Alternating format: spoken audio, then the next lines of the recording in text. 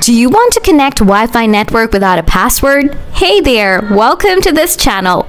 In today's video, I'll show you how you can connect to a Wi-Fi network via a QR code on your Samsung phone.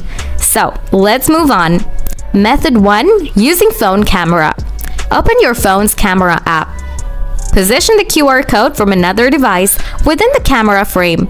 Ensure the QR code is in focus. You'll see the virtual name of your Wi-Fi network. Tap on it to connect. Method 2. Using Wi-Fi settings. Open the Settings app, tap on Connections, select Wi-Fi, tap the scanner icon located in the top right corner.